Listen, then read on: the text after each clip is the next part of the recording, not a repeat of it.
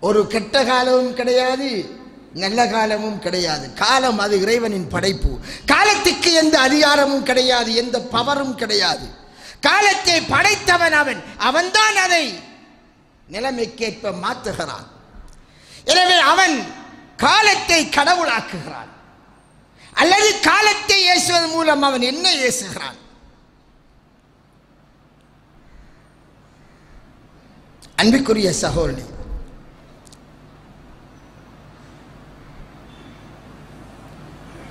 நமக்கு எந்த இழப்பும் ஏற்படலாம் நாம் ஒரு பில்டிங் கட்டுகிறோம். அந்த பில்டிங்கை நமது விருப்பத்திற்கேற்ப ஒரு இடத்தில் கட்டுகிறோம். அப்போது பலர் சொன்னார்கள் இந்த இடத்தை விடுங்கள் இந்த இடத்தை சாய்ஸ் பண்ணுங்கள் என்று. அல்லது நாம் ஒரு பயிர் செய்கின்றோம். மற்றவர்களுடைய தேர்வை விட நாம் ஒன்றை தேர்ந்தெடுத்தோம். நாம் தேர்ந்தெடுத்ததற்கு சில நியாயமான காரணிகள் இருக்கும்.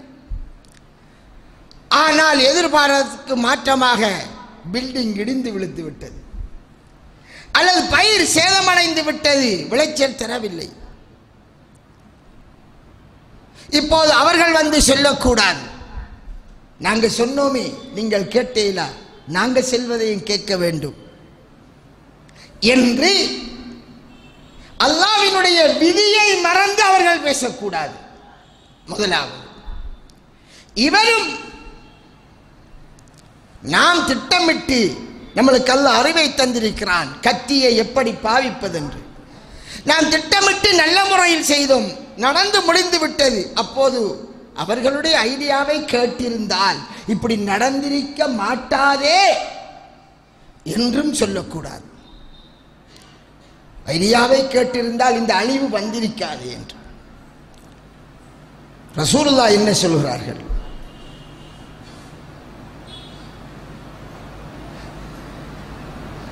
இவ்வாறு இருந்திருந்தால் இவ்வாறு நடந்திருக்காது இவ்வாறு இருந்திருந்தால் இவ்வாறு நடந்திருக்காது என்று சொல்கிறோமே. இருந்திருந்தால் இருந்திருந்தால் ஆள் இந்த ஆள் பாவிப்பது அரபியிலே அதற்கு லவ் என்று சொல்வது.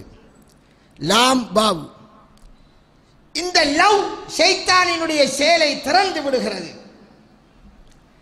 அந்த எண்ணம் உள்ளத்திலே தோன்றுவது சைத்தானினுடைய ஊசலாட்டம்.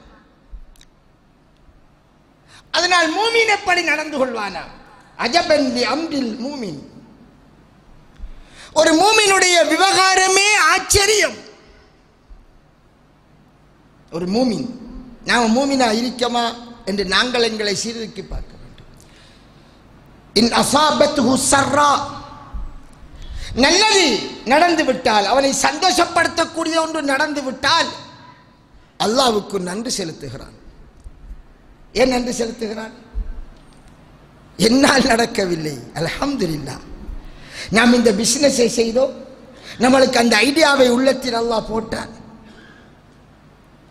எனவே அல்லாஹ் எனக்கு இதை தந்திருக்கிறான். இது எனது கட்டித்தனத்தால் இல்லை. ரப்பு தந்தது. என்னை போன்று அதே முதல் போட்டவனுக்கு நட்டம் வந்துள்ளது. எனக்கு கிடைத்துள்ளது. எனவே என்னால் அல்ல என் ரப்பால் நடந்தது. அல்ஹம்துலில்லா. இரண்டு வேளின் வெள்ளாமைகள் பக்கத்திலே பக்கத்திலே இருக்கிறது. வெள்ளம் ஒன்று வந்தது. ஒருவரின் வேளாமைக்கு எந்த அழிவும் இல்லை. மற்றவரின் வேளாமை அழிந்து விட்டது. நாலு நாள் இவர் சொணங்கி விளை விதை விதைச்சிருக்கலாம். அவர் அவரை கொச்சப்படுத்துகிறார். நான் சென்றேன் என்னோடு விளைச்சிருந்தால் உங்களுக்கு இப்படி நடந்திருக்க மாட்டாதே. அஸ்தாஃபுருல்லா.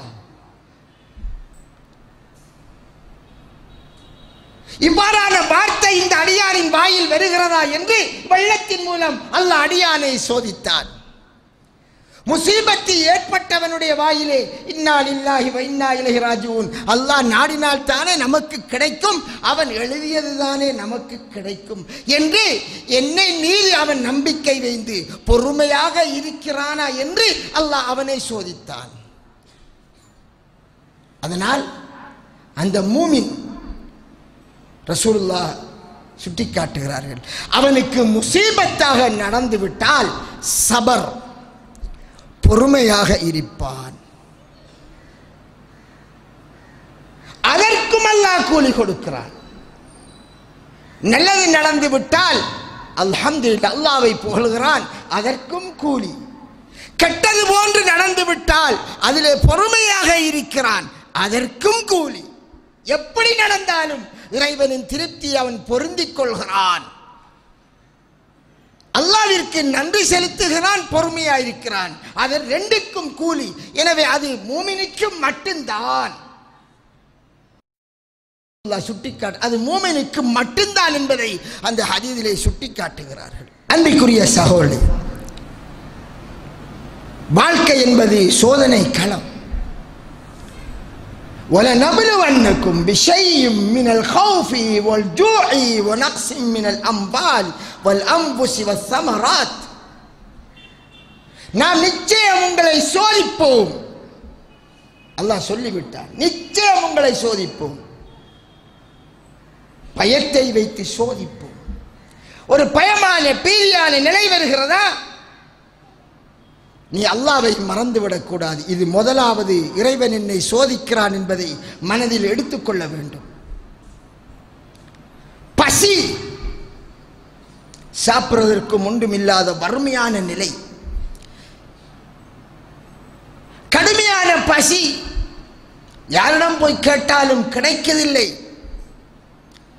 தொழிலும் இல்லை.